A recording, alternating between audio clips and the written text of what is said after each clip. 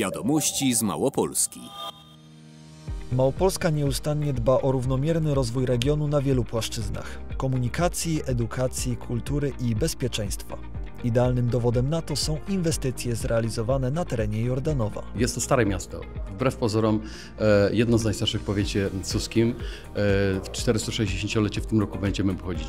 Więc e, sama historia pokazuje, że tych obiektów historycznych jest naprawdę masa. Tych widocznych, tych naprawdę dużych i mniej widocznych. No, okupacja spowodowała to, że w 1939 roku, gdy Niemcy weszli do miasta po tej naprawdę niesamowitej obronie wysokiej, to jest takie małe Westerplatte, tutaj naszego południa, z zemsty zniszczyli miasto w 65%.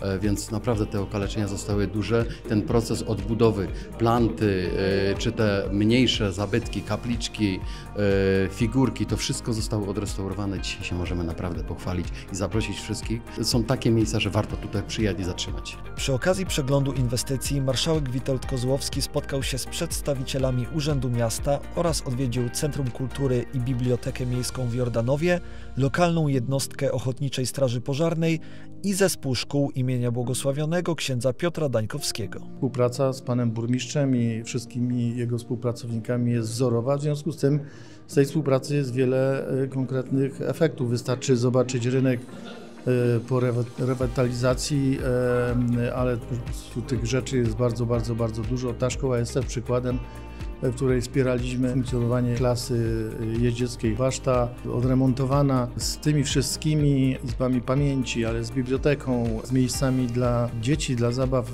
no, robi naprawdę du- duże wrażenie i to jest właśnie takie łączenie historii e, ze współczesnością i z tymi możliwościami, które się przed nami pojawiają, a e, rewitalizacja tego obiektu też była przy udziale środków wojewódzkich, więc to jest też kolejny dowód na to, że taka współpraca przynosi dobry efekt. Marszałek dokonał również wpisu do pamiątkowej księgi w Izbie Pamięci.